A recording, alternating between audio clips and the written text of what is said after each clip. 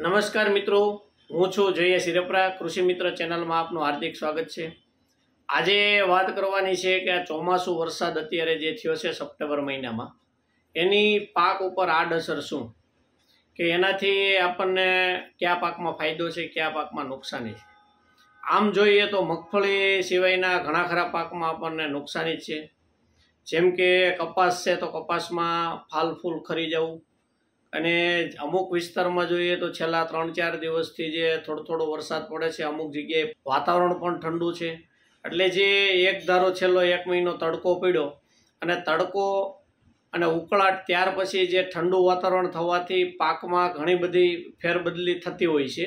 છોડના ગુણધર્મો જે છે કે કપાસ જે એકદમ કૂણો લીલો હોય, બરડ, જાડો થઈ જાય. ત્યાર પછી સોયાબીન છે તો સોયાબીનમાં છેલ્લા બે ત્રણ દિવસથી જોઈએ તો લાલ પીળા થઈ આખા ઘેરા જ પીળાશ કલર દેખાય છે. તો આ બધી અસર શું કામ? કે જે એકધારું ઠંડુ જે પાણી મળ્યું અને વાતાવરણ પણ એકદમ ઠંડુ થઈ ગયું અને પવનની ઝડપ વધી ગઈ. તો એને હિસાબે કે જે પાકને જે સહનશીલતા રહે નહીં, એને હિસાબે કે છોડ બગડવા માંડે. તો આના માટે હવે શું કાળજી રાખવી? તો આમ જોઈએ તો સોયાબીન છે તો હવે એંશીથી નેવ દિવસના જનરલી થઈ ગયા છે. એટલે કે દસથી પંદર દિવસમાં વઢાય એમ છે. એટલે લાંબા ઊભા રહે એમ ન હોવાથી જોઈએ તો પોટાશ કે ઝીરો ઝીરો પચાસ જે પોટેશિયમ સલ્ફેટ આવે છે, એ પંપે સો ગ્રામ અને મેગ્નેશિયમ સલ્ફેટ પંપે સો ગ્રામ. આ બે નાખી અને છંટકાવ કરવામાં આવે તો થોડો સમય લીલા રહે એટલે જે સિંગોમાં દાણા હોય, કાચા નો રહે, દાણા ચીમળાઈ ન જાય. અને વજનવાળો દાણો થાય. જો એથી વધારે ઊભા સોયાબીન રેમ હોય, તો બીજી આપણે એમિનો એસિડવાળી કોઈ પણ પ્રોડક્ટ વાપરી અને ઝીરો ઝીરો પચાસ વાપરી અને આપણે એમાં માવજત કરી શકીએ. હવે વાત કરીએ ખાસ કરીને કપાસમાં નુકસાની જાજી છે. કપાસ આડા પણ પડી ગયા છે ફાલ ફૂલ નવું હતું એ ખરી ગયું છે. બીજો લાલ પીળા થઈ અને બગડવા પણ માંડ્યા છે. તો એના માટે જેમ આપણે સોયાબીનમાં વાત કરીએ કે પોટાશ અને મેગ્નેશિયમ મહત્વનો ઘટક છે, તત્વ છે કે જે ઝીરો ઝીરો પચાસ એટલે કે પોટેશિયમ સલ્ફેટ, પંપે સો ગ્રામ અને મેગ્નેશિયમ સલ્ફેટ, પંપે સો ગ્રામ પણ છંટકાવ કરી શકાય. બીજું કે જે આપણે અગાઉના વિડીયોમાં પણ જણાવેલું તેમ પોટેશિયમ સોનાઇટ પણ ચાલે અને પીએમએસ, પોટેશિયમ, મેગ્નેશિયમ સલ્ફેટ, પંપે સો ગ્રામ રાખી અને છંટકાવ કરી શકીએ. અને ફાલ ફૂલ વધારે ખરી ગયું હોય અને કપાસ થોડોક બગડ્યો હોય તો પીએમએસ સો ગ્રામ અને મની બેગ પચાસ ગ્રામ મિક્સ કરીને છાંટવાથી નવું ફાલમાં પણ ફાયદો થાય છે અને કપાસને ગ્રીનરી પણ થોડી વધે છે.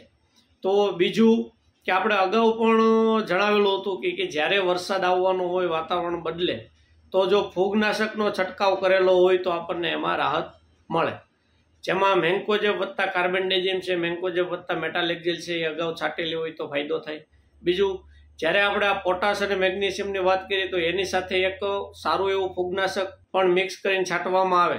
તો જે પાક જે બગડે છે એ બગડે નહીં અને તંદુરસ્ત અને લીલો છોડ રહે.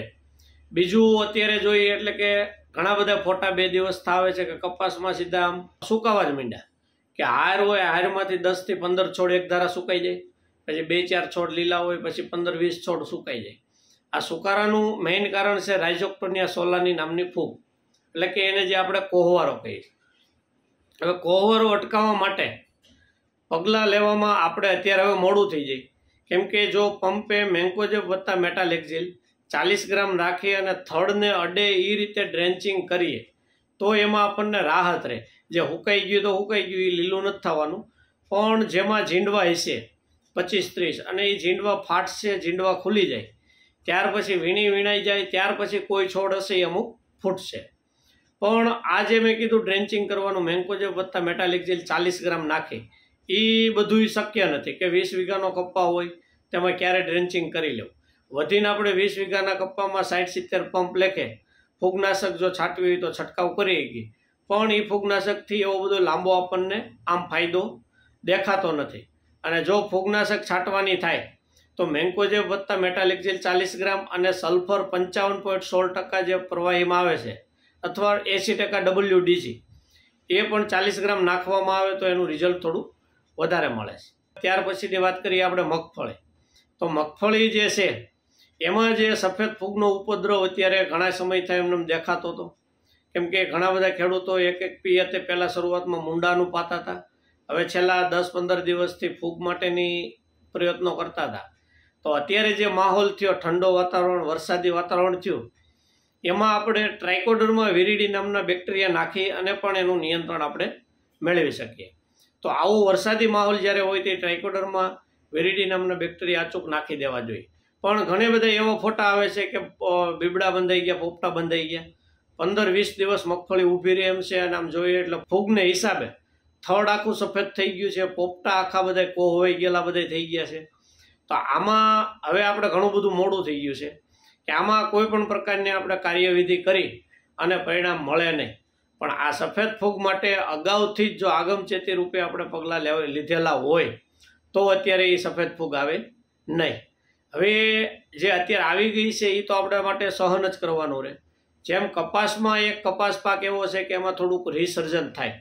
કે જે ફાલ ફૂલ ખરી ગયો છે, ઝીંડવા જે છે એ તો રહેવાના જ છે. પણ જે ફાલ ફૂલ નવો લાગે, નવી ફૂટ થાય એના માટે આપણે ખાતરની, દવાની અને ફૂગનાશકની માવજત કરી તો નવું આમાં સર્જન થઈ અને થોડું ઘણું કપાસમાં ઉત્પાદન મળી શકે. તો આ હતી આજના વિષયની વરસાદ દ્વારા થતી નુકસાની વિશેની માહિતી. જો આ વીડિયો તમને સારો લાગ્યો હોય તો અન્ય ગ્રુપમાં શેર કરો અને અમારી ચેનલ સાથે જોડાયેલા રહો. નમસ્કાર.